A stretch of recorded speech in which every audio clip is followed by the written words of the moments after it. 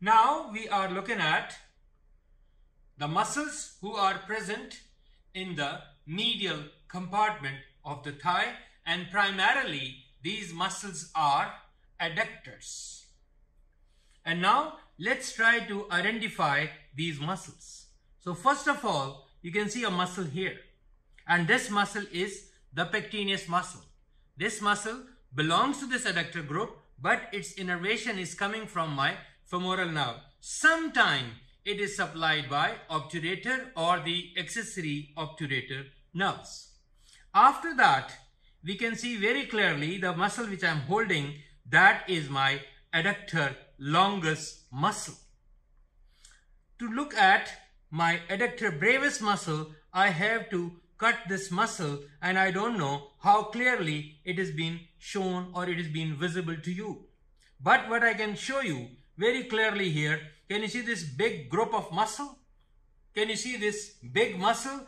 That is my adductor magnus muscle. This adductor magnus muscle has two components of it, has two parts of it. Part of it, it is working with my medial compartment muscles or the adductors. So that is the adductor part of my adductor magnus muscle. And when we'll be talking about the hamstring group of muscles, there I will try to show you its hamstring part. And this muscle is an example of a muscle who is innervated by two nerves. Its adductor compartment is innervated by the nerves, the nerve of the adductors and that is my obturator nerve.